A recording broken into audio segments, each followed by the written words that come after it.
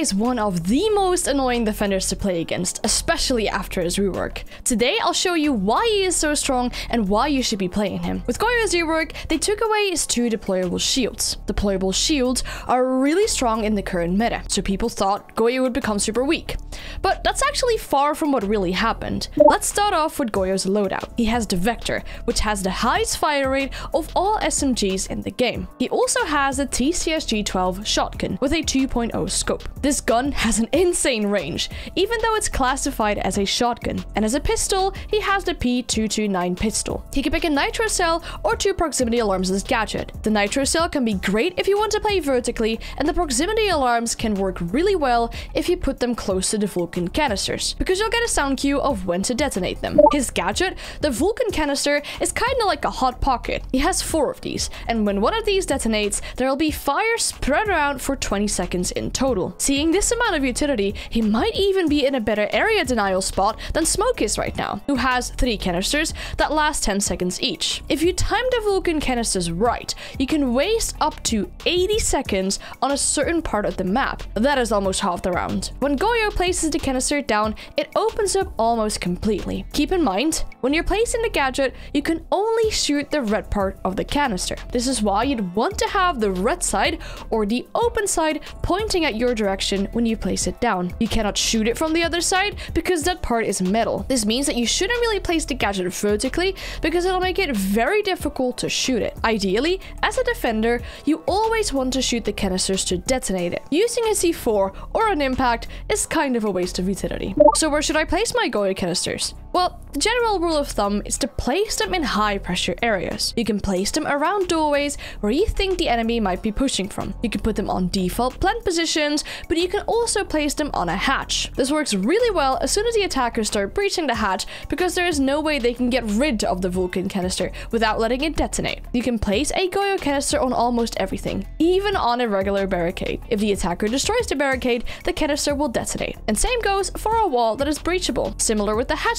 with a barricade or breachable wall, there is no way the enemy can get rid of the canister without having to detonate it. You can also just place it on the floor and shoot the canister. It detonates by shooting at the red part or by an explosion. Personally, I would place them right on the wall or a floor next to where the enemy might push from. I would say spread them out as well. Don't place all your canisters at one spot. You cannot chain detonate the canisters, so it wouldn't make sense to place them very close. If you were to place them close and someone would grenade the canister, they would all detonate at the same time anyways. This means the maximum time you'll get out of all four of your canisters is 20 seconds and that is not much. Keep in mind that the fire will spread to the floor around where it is placed, so even if you place it somewhere really high, it'll still fall all the way to the floor. Later on in the video, I'll show you some of the best Goyo spots using the height. The fun thing about Goyo as well is that you can play him both as an anchor or as a roamer. You can play vertical with his C4, or you can play on site to easily detonate your canisters. The options are quite endless with this operator. What are some great combinations on the fence? Goyo works great in combination with Maestro.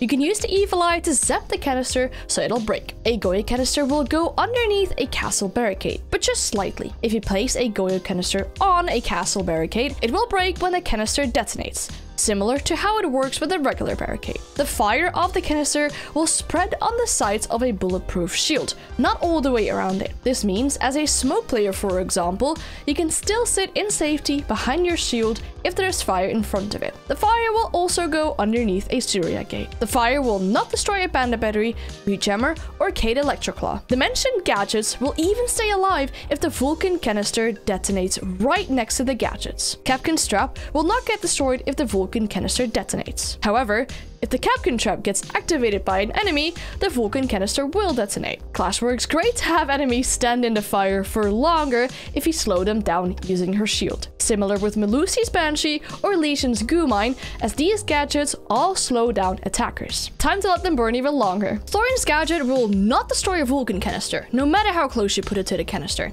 If an attacker is in the radius of the Thorin Razorbloom shell and it explodes, it will not do any damage to the canister, so it'll stay up and you can still shoot it if you want. While Wamai's Magnets will destroy the canister if they catch a grenade whilst being placed too close to the canister. As an attacker, you should be careful, because if your teammate then walks through the fire and dies, you will get reverse friendly fire. And another great combination is you, and hitting that subscribe button on my YouTube channel. You're getting quite far in the video, so you must be liking the content. And we are getting really close to 10k subs. All the support is much appreciated.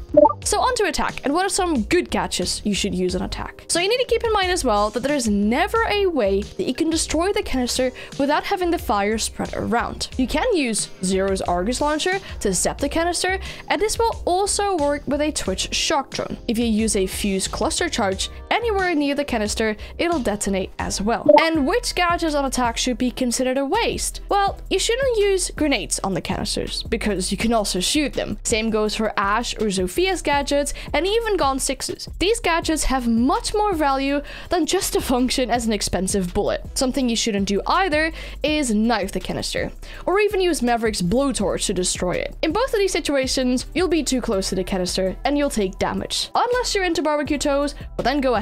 You cannot destroy the canister using Ace's Selma or Hibana's pellets. You can use the Hibana pellets, for example, on the wall right underneath it to destroy the canister. IQ and Thatcher do not work with this gadget, so you won't see it on the scanner, for example, because it doesn't run on batteries. Using Flores' RC Irritero charge could also be seen as a waste. And now onto the shields on attack. For Montagne and Blitz goes that you cannot stand in the fire, the shield will not block the fire for you. With Osa, it's a different story though. If you had placed a shield before the fire detonates, the fire will spread to the sides of the shield, but not behind it, similar to how this works with a defender's shield. You cannot walk into the fire whilst holding the Osa shield though. You will take damage. So what are some of the best Goyo spots? I'll take you through a few different maps. Starting on Cafe, this spot to defend top floor is great. You can have a Vulcan canister on the inside of this minibar, which will be a safe spot to shoot from cocktail. You can even put it on the wall at the minibar, because the fire will fall down anyways. And this is a common plant spot, so attackers cannot continue planting with a fire all around them. On bank, there's a really good Vulcan canister to defend CCTV. If you place it on the wall at this desk,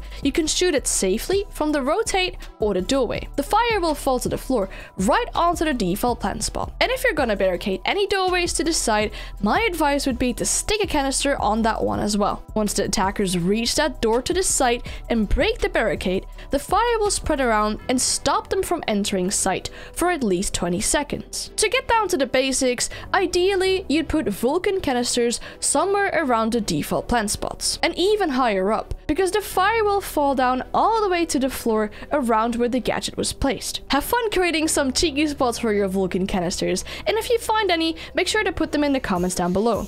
You reached the end of the video. Please leave a like on the video and subscribe to the channel if you like this type of content. We're getting really close to 10k YouTube subs and all the support is really appreciated. Maybe you like this video with 13 tips on how to get more kills or this frost guide as well. Thank you for watching and I'll see you in the next one.